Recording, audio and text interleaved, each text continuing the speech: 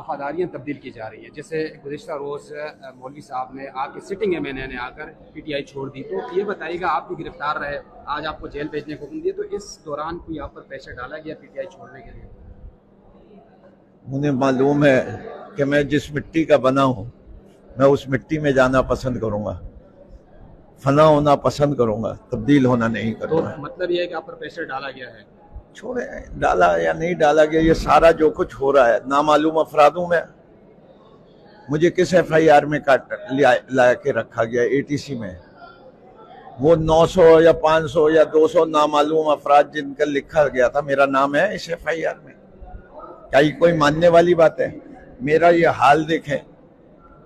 मैं इस काबिल हूँ कि मैं कोई टेररिज्म का एक्ट करूँ, कि मैं कोई गाड़ियाँ चलाऊं कि मैं पथराव करूँ। मेरे पत्थर मेरी जबान है। मेरी पत्थर मेरी सोच है। अगर इस पे कोई मुझे टेररिस्ट कहना चाहता है कहे। अगर मैं अपने आप को पाकिस्तानी ना समझूं। मैंने अपनी ज़िंदगी जो है इस वतन ने मुझे जो कुछ बनाया है वो इसी वतन ने बनाया है। और मैं फना भी इसी वतन के लिए होऊँगा। अच्छा, मैं नया पाकिस्तान का ख्वाब लेके चला था। मैं पाकिस्तान तब्दील कर देखना चाहता हूँ। पाकिस्तान को एक तरक्की याफ्ता मुल्क देखना चाहता हूँ। और मेरे नज़दीक इस वक्त भी पूरे पाकिस्तान में इमाम खान से दयानतदार, ईमानदार, वफादार और विजन रखने वाला लीडर बाकी के मुकाबले में नहीं है। कोई भी सामने खड़ा कर दो।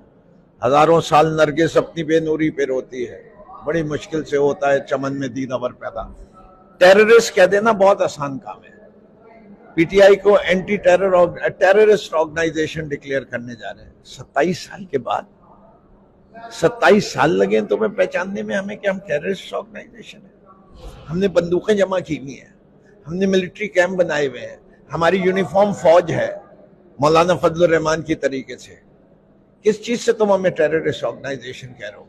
शर्म नहीं आती वो पाकिस्तानियों जिन्होंने अपना सब कुछ कुर्बान करके, वो नौजवान जो ख्वाब लेके आए अच्छा ये नौ तारीख को जो वाकयात हुए, इस तरह हमले हुए, इसको पीटीआई तो डिस्काउंट कर रही है तो आप क्या कहेंगे समाज? देखिए, मैं कहता हूँ, मुस्तकबिल का किसी का पता नहीं होता, लेकिन उसके हाजिर के लिए उसके माजी को देख लो। सत्ताईस साल में कितनी बसें जलाई हैं मैंने। सत्ताईस साल में कितनी इमलाक को नुकसान पहुँचाया है। कोई तकरीर दिखा दें, जिसके अंदर ये दिख पीटीआई का लीडर कह रहा हो कि तुम्हें ये करना है, ये करना है, ये करना है। Part of the conversation save करके कि कहीं चले जाओ एहतजाज करने के लिए हक है मेरा एहतजाज करना। अगर मैं कोई नाइंसाफी होते देखूँगा हक है। पाकिस्तान में फ्रीडम ऑफ़ स्पीच है।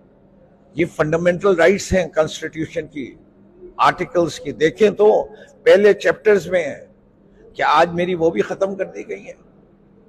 अच्छा रूल ऑफ़ लॉ है। पाक फौज के हवाले से क्या कहेंगे और जो उस दिन आवाम की जानब से किया गया, उस हवाले से क्या कहेंगे? क्या मुझे पाक फौज के हवाले से क्या कहूँगा? पाक फौज पाकिस्तान की तकरीबन वाहिद इंस्टीट्यूशन रह गई है। पाक फौज के अंदर क्या हर फ़र्क जो फ़र्ज़ फर्द जो है, वो पाक साफ़ है? नहीं है। मिन असल इदारा, कौमी असासा है।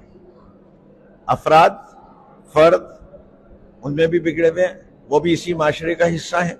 वो कहीं फरिश्ते तो, तो नहीं पैदा हुए। तो जिस तरह माशरे में खराबी होती है फौज को भी अपने अंदर की खराबियाँ दूर करनी चाहिए।